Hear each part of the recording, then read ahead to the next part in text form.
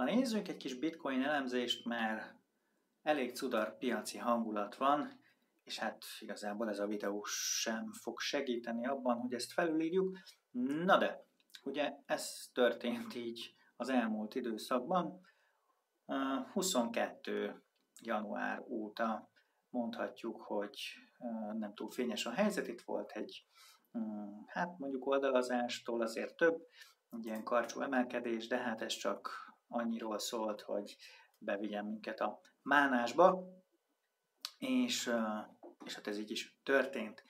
Délelőtt egy néhány órácskát így elbívelődtem ezzel a grafikonnal, mondom, nem hiszem el, hogy ennyire uh, cudar a, a szituáció.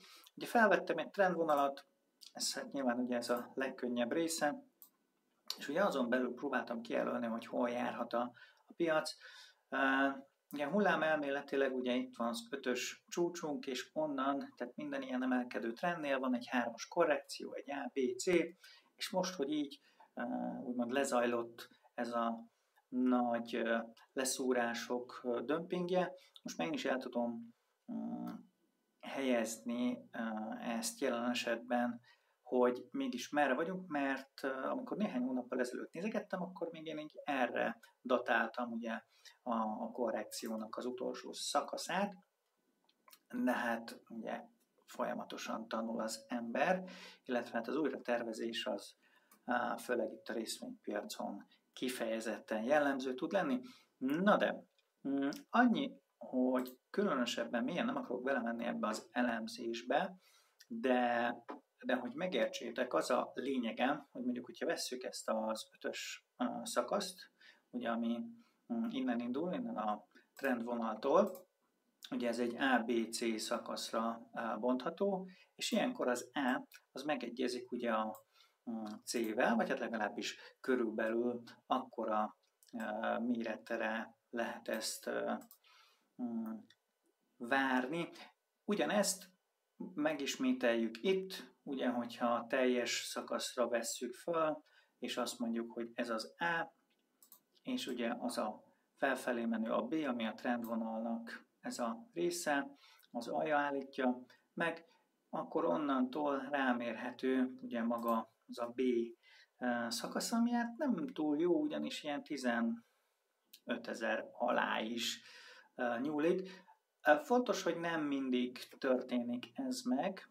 Mm, annyi, hogy van, amikor elég számára a C szakasznak az, hogyha ide az A-ig lesorolódik. Hát most látjuk, hogy ezt így bőven nem, nem tette magáévá, és még esett tovább. Az, hogy ennek mi lesz a vége, az egy abszolút jó kérdés, és nyilvánvalóan nem ezért készítettem a videót, hogy ezt elmondjam, inkább csak azért, hogy lássátok, hogy van még bőven arra lehetőség, vagy opció, hogy ez lefelé menjen.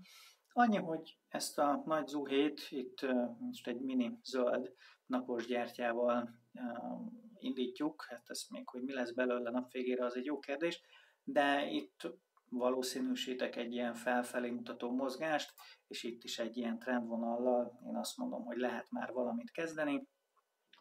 Összességében ez ilyen 24-25 ezer dollárig feltornázódhat, mondjuk néhány nap alatt, de onnan, onnan még mindig valószínűsítek egy, egy lefelé menő mozgást, ami, ami valószínűleg a 20 ezeret át fogja törni. Ugye itt körülbelül ezt a 20 ezeres szintet um, fogtuk meg, és innen kezdünk el visszafele vánszorogni, de, de ez csak rövid távon lehet akár jó, de simán ugye itt van ez az oldalazó rész, itt is kialakulhat, tehát nem muszáj neki felfelé menni, valami oldalazó, minimálisan emelkedő mozgás, hasonlóan, mint ugye itt a, a B-nél, hogy azért ez azért több, mint, mint oldalra mutató mozgás, de, de 15 ezer környéke az teljesen reális számomra